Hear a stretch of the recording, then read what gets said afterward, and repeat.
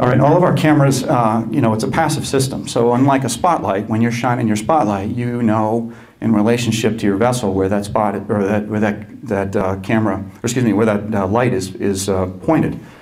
Well, thermal, you wouldn't, you don't know. Uh, so we, one of the things that we do on all of our cameras is uh, we output a, we call it acupoint color symbology, but you have position feedback and actual on any display it's on, it'll tell you in relationship to the vessel.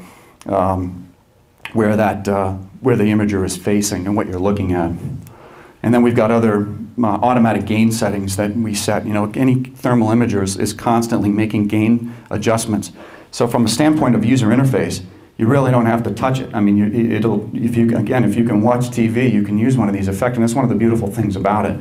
Um, but there are some automatic gain settings in there that you can just press a button and it rolls through them to kind of help bring out those uh, the details a little better in certain situations. Obviously, if you're offshore and there's not a lot of heat source around you, uh, is different. It's going to be different than if, say, for instance, you're using it in and around a marina, where there's a lot of you know other vessels and a lot of uh, more heat sources that are that are present. And thermal is traditionally a thermal image, as you see on that screen over there, is traditionally what we call white hot. And that's, you know, everybody knows it as, you know, uh, warmer objects appear lighter in color and cooler objects appear darker in color. Uh, well, it doesn't have to be that way. I mean, you can flip-flop that. We've, you know, we call black hot. All our cameras will do, all of our mounted cameras will do this, um, where you flip-flop the polarity.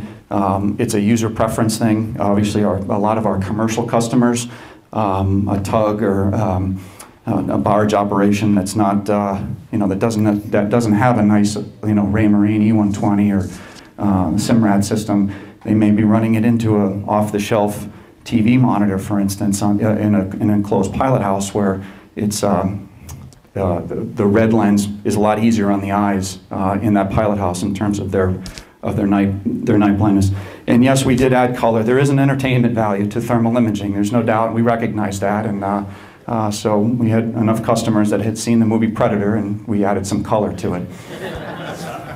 so now we get into the meat of it, the, uh, you know, the product lineup for, for FLIR. Uh, we do. We just introduced our our new handhelds. The first thermal imaging cam- marinized uh, thermal imaging camera um, that is uh, has been commercially available. We just introduced that at uh, the Fort Lauderdale Boat Show um, in the fall of last year. Been tremendously well received. Um, it is a, is a fantastic product. It's using the same technology that our other mounted cameras do, um, but a little bit more palatable price point. Obviously, uh, I know you look at that and think, geez, that's still you know, it's still a tough pill to swallow, but when you think of all the benefits that it does provide, um, it, is, it is definitely a, uh, worth every penny.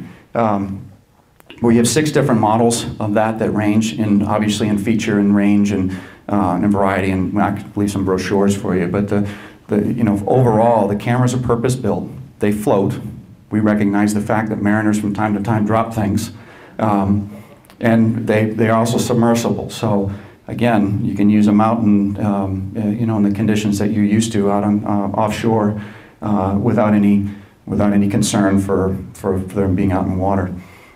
Um, it's, they do have a video output as well, so if you want, you can just plug a, a video or plug the video for even from the handheld into into a monitor, um, and it's a it's been very very well received product. The next step up from there is we get into our Navigator series.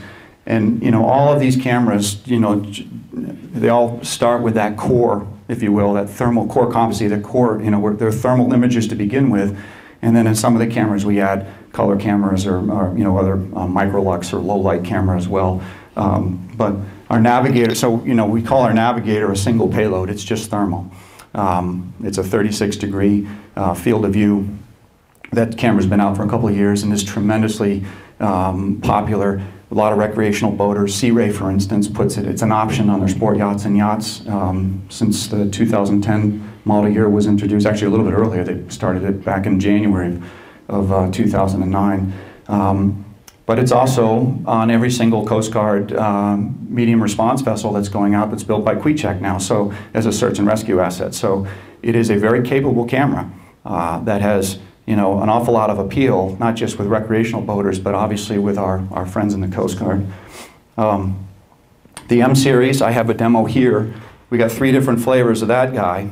Um, that was, uh, introduced the, uh, the dual payload. You'll see one, this single payload is the one I have here, and dual payload, and I'm going to talk about that in a second. Um, but that camera was introduced uh, last year at the, uh, at the Miami Boat Show, and um, it too has been very well received. It's got some additional features that the Navigator doesn't, proportional control on the joystick. They all have joysticks to move them around.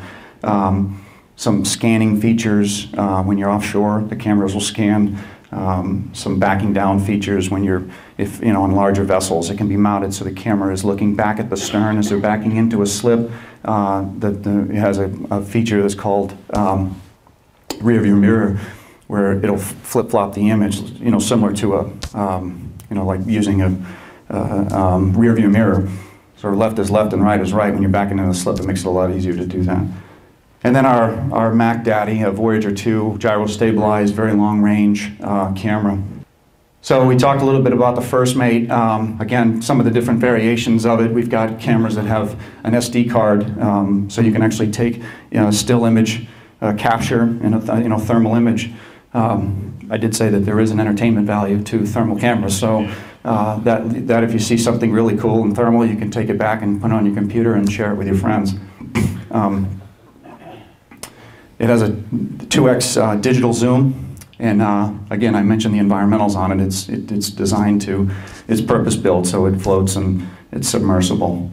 And this is, this is some imagery from, the, uh, from our handheld camera. Again, you see um, from a, just a safety aspect, you know, if you're looking at a camera just for the purpose of, of you know, that uh, moment that we all hope never happens where we got somebody in the water and we can't find them um, you'll see a person very, very bright, and as opposed to, you know, trying to see them with a, a spotlight, um, you can see there's quite a significant difference there.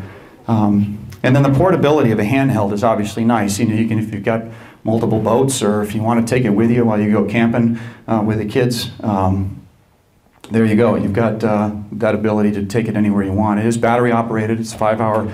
Uh, it's and they're rechargeable batteries It's got a five hour life if it's used straight up, but it does go into a sleep mode similar to a computer would. So, uh, you know, when it's up at your eye, it's working, and uh, when you set it down, it'll go into a sleep mode, um, and then just press any button and it's, and it's, you're back up and running. So, very, very simple to use, uh, very simple user interface. This is a bit of an eye chart, but this just, and this is in the brochure. But uh, you can see there's there's four different, well, really primarily focused recreational. I said I know I said six, but the, the two on the high end are very narrow range. They're more for uh, law law enforcement applications uh, in large like cruise liners that are using them for um, a person overboard.